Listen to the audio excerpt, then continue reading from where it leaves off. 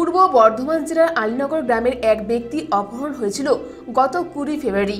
সেই ব্যক্তির মৃত্যুর খবর এদিন গ্রামে পৌঁছাতেই ব্যাপক উত্তেজনার সৃষ্টি হয় এবং বর্ধমানের নতুনহাট বাসাই রাস্তা অবরোধ করে স্থানীয়রা।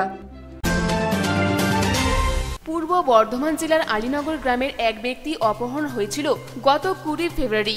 সেই ব্যক্তির মৃত্যুর খবর এদিন গ্রামে পৌঁছাতেই ব্যাপক উত্তেজনার সৃষ্টি হয় এবং বর্ধমান নতুনহাট বাসাই রাস্তা অবরোধ করে স্থানীয়রা পুলিশের গাফিলতির কারণে মৃত্যু হয়েছে আলীনগর গ্রামের নুরাই মল্লিকের। পরিবার সূত্রে খবর, গত কুড়ি ফেব্রুয়ারি ঝাড়খণ্ডের সাহেবগঞ্জ জেলার রাধানগর থানার শেখ শওকত আলী নামে এক ব্যক্তি নুরাই মল্লিকের কাছে ধান কাটা মেশিনের ভাড়া বাবদ প্রায় এক লক্ষ টাকা পেত। সেই টাকা নিয়ে হঠাৎ করে কুড়ি ফেব্রুয়ারি ঝাড়খণ্ড থেকে আসে শেখ শওকত আলী। সেদিন থেকে নিখোঁজ হয়ে যায় নুরাই মল্লিক। গত বাইশে ফেব্রুয়ারি তাকে অপহরণ করা হয়েছে বলে শেখ শওকতের নামে লিখিত অভিযোগ জানানো হয়। কিন্তু পুলিশ কোনো রকম পদক্ষেপ গ্রহণ করেনি।